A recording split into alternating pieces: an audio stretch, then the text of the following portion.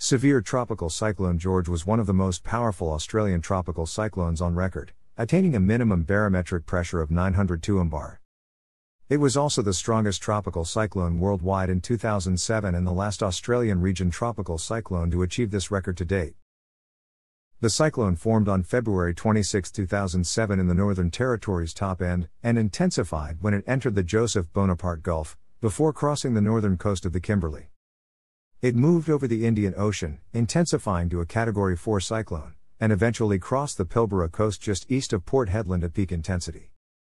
After further analysis from the Bureau of Meteorology, George was reclassified to Category 5. The cyclone caused significant damage to the town of Port Hedland and numerous isolated mining camps around the town. Losses in Northern Territory amounted to at least 12 million Australian dollars. Two people died and more than a dozen others were infected in a melioidosis outbreak following the Northern Territory floods. Insured damage in Western Australia amounted to 8 million Australian dollars, and there were three fatalities. Map plotting the storm's track and intensity, According to the Saffir Simpson scale on February 24, 2007, an area of low pressure began consolidating over the Arafura Sea. By 26 February, the Australian Bureau of Meteorology Warning Centre in Darwin classified the system as a tropical low with its centre situated 230 km northwest of Nhulunbuy. Over the following days, the system meandered around the top end region and showed signs of gradual organization. Initial forecasts depicted the low as moving gradually eastward and becoming a significant cyclone over the Gulf of Carpentaria, however, after approaching Milingimbi Island on 1 March. The system doubled back to the west in response to a subtropical ridge over central Australia. Though overland, the cyclone remained well organized. Deep convection blossomed on 2 March, as the system approached the Joseph Bonaparte Gulf.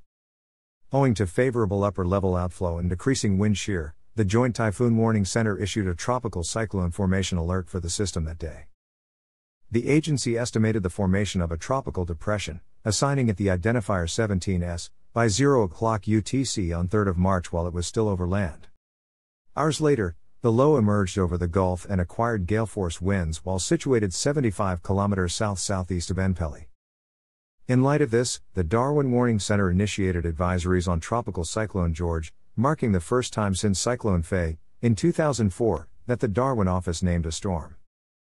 George quickly intensified once offshore, with a very small banding eye of approximately 8 km in diameter appearing on SSMI satellite imagery, and gained winds of 95 km per hour by 1800 hours UTC.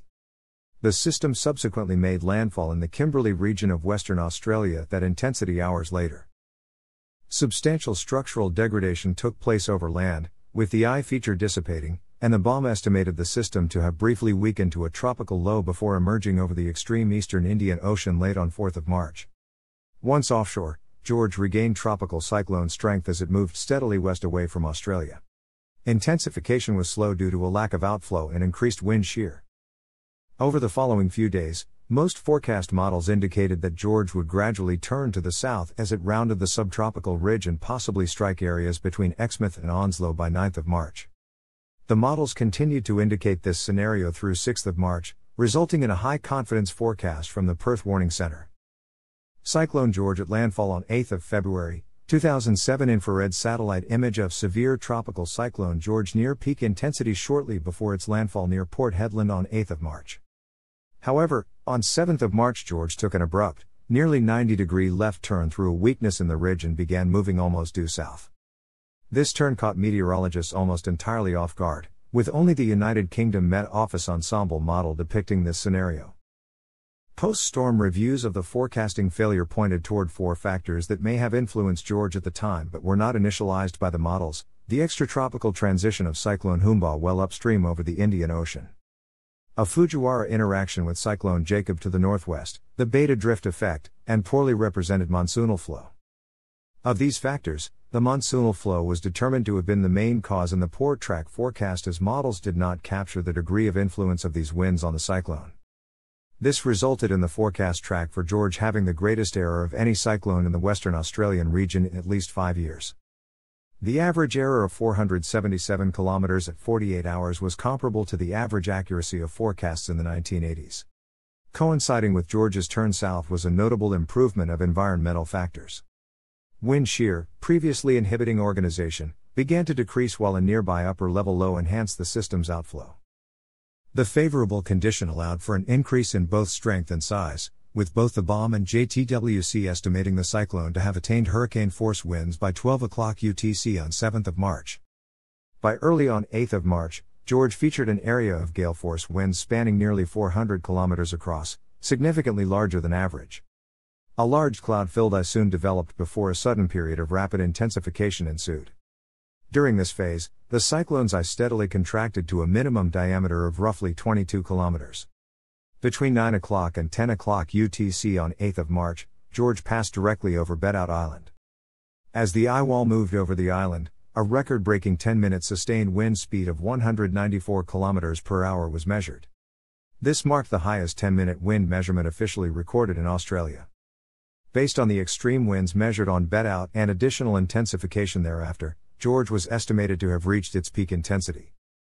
At 12 o'clock UTC with winds of 205 km per hour and an estimated barometric pressure of 902 mbar. Automated Dvorak classifications from the Cooperative Institute for Meteorological Satellite Studies at University of Wisconsin-Madison peaked at 6. 8, equivalent to a high-end Category 4 on the Saffir-Simpson hurricane wind scale, as the storm moved ashore. At 10 p.m. on 8th of March, Cyclone George made landfall 50 kilometers northeast of Port Hedland. When it made landfall, it was still at its peak intensity. Damaging wind gusts of 154 kilometers per hour were recorded at Port Hedland Airport Weather Station just before 11 p.m. The anemometer failed shortly afterwards. At 012 a.m. on 9th of March, an air pressure reading of 962. 7 hectopascals was recorded at Port Hedland Airport. This was lowest recorded at the airport during the passage of the cyclone. George weakened slowly while over land and it was downgraded to a Category 3 late on 9th of March. The next day, the Tropical Cyclone Warning Center in Perth issued its final warning for the system. George's remnants continued drifting southeastward and then southward over the next three days, before dissipating on 13th of March, in southern Australia.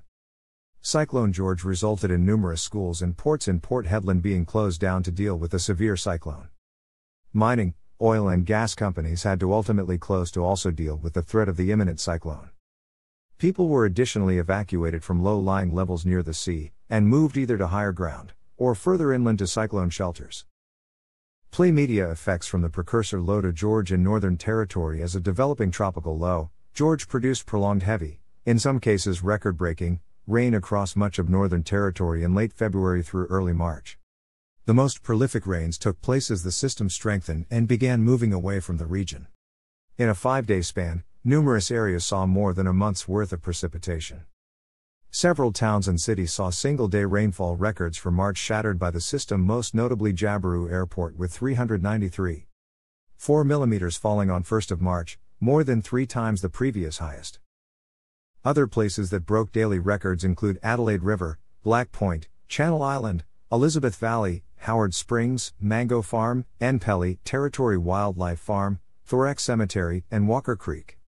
The tremendous rains also resulted in many areas seeing their wettest March on record. Widespread flooding resulted from the rains in the region, with some areas becoming isolated by 2nd of March. Extensive damage was incurred by region's roadways, with losses reaching 12 million Australian dollars. Officials referred to the effects of the flooding as the worst in 40 years. Portions of the Kakadu and Arnhem highways were shut down, with the latter expected to remain so for a week. Throughout the top end region, a collective 101 bridges and roads were closed due to flooding. Workers at the Ranger uranium mine in Jabiru were forced to camp out at the mine as floodwaters overtook the area. The mine's pit was inundated and forced to shut down for nine days while processing had to be suspended for two weeks. The resulting loss in production cost Energy Resources of Australia 300 tons of uranium.